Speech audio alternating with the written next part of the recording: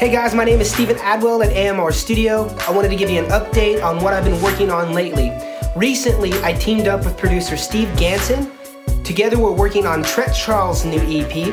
I've been working with Zero Detail all the way from Houston, Texas. I've been mixing and mastering some of their new songs, and I've been working with local rap artist Rocko, who's scheduled to release his new single on the 5th of December. Make sure you follow each of these artists, links in the description. If you'd like to know more information about the studio, visit my website at amrstudio.com. Thanks for watching, I'll see you soon.